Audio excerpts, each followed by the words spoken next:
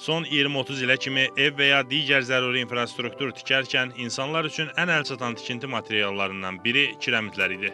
Həm ucuz, həm də daha keyfiyyətli vasitə kimi şimal-qərb bölgəsində, xüsusən də Şəkidə kiremitdən daha çox istifadə olunurdu.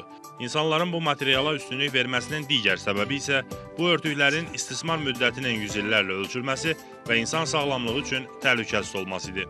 Radiasiya olmamağına görə, ən çox ona görə xeyri var. Ziyanlıqsa çox olmasın deyə görə olan şeylərdir. Həm öyüncüsü bərk olur, həm öy yığcam olur. Bax, indi şifi vuran öylərinə bax. Şey, o kremət olan öylərə bax.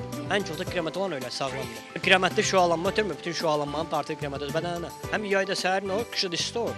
Tələbatın çox olması səbəbindən zavodlardan əlavə şəxsi evlərdə, həyətlərdə də bu sənəti yaşadanlar olub. Hətta bəzi ailələr kollektiv şəkildə bu çətin peşə ilə məşğul olublar.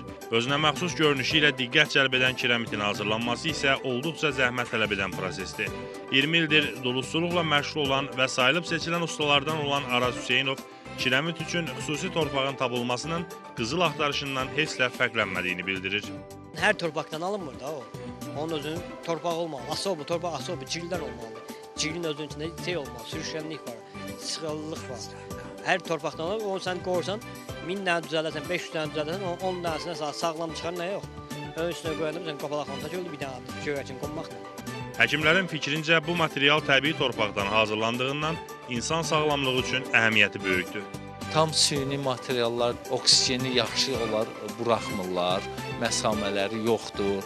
Ondan sonra çoxunda allergik maddələr olur, şüa maddələr olur. Bunlar da insan orqanizminə bu saydığım e, tərzdə ziyan verir. Ancaq kiremit məhsulları e, tam torpaqdan hazırlandığı üçün orada allergik maddələr yoxdur. Bu da insan orqanizminə çox təsir, yaxşı təsir bağışlayır. Texnoloji yeniliklərin artması bu sahədən də yan keçmədi və yeni tikilən evlərlə yanaşı köhnə tikililərin də dam örtüyü sökülərək yeni örtüklərlə əvəz edildi. Bu da torpaq kiremitlərin hazırlanmasının sirlərini bilən ustaların sayının azalması və qədim sənətin tarixə qovuşması ilə nəticələndi.